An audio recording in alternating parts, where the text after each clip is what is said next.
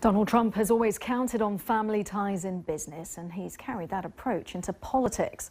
He appointed his daughter Ivanka as an advisor, and on Tuesday, she was America's representative at a G20 summit in Berlin on women's rights.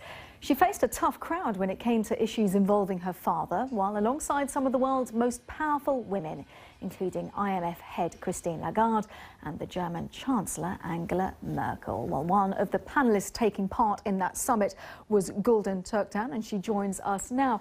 Gulden, you're, you have been the president of the Women's Summit in 2015. You're the current W20 president in Turkey. You know what these summits are like. When you heard Ivanka Trump speaking, what impression did that make on you?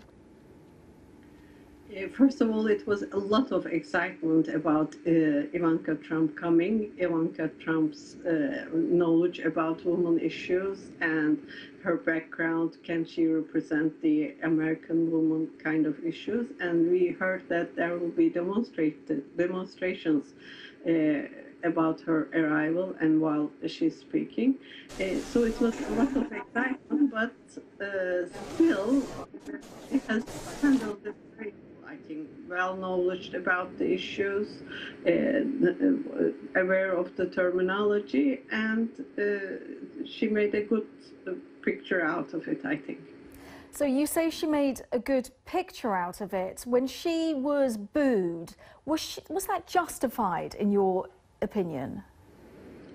Uh, I don't know whether it's justified or not, but it's uh, President Trump that wants to build walls, that wants to do this, and this is uh, her daughter, and she's a businesswoman, and uh, she mentioned right words, digitalization, women need to help women, and there is going to be a fund raised now uh, with uh, United States, Canada, Germany, with Angela Merkel asking for it, and uh, Trump agreeing, and Holland uh, Queen Maxima to be a part of it.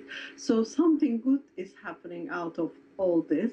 Uh, Gulden, she, Ivanka, sorry to interrupt, but Ivanka was there representing her father.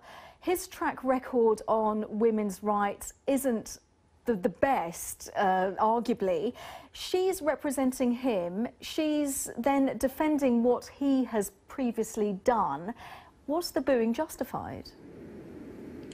Uh, I mean, uh, she wasn't very strong uh, to say uh, to defend the father. That was aha uh, kind of event, but at least she's aware of women's problems. She's aware of what W20 is, and she's uh, very well aware of what she should say. She has studied her.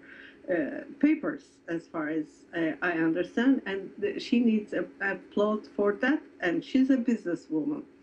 Uh, but uh, to defend Mr. Trump, who looks very macho even at the decision of the wall at the border, uh, and a construction gentleman from the beginning, so it's very tough for her and for all the women to accept that uh, oh Mr. Trump is very friendly. Uh, okay. But Gulden, I'm sorry to interrupt, but we're, we're out of time. But it's fascinating to hear your impressions of hearing Ivanka Trump at that summit. Gulden Turktan, the current W20 president of Turkey. Thank you so much.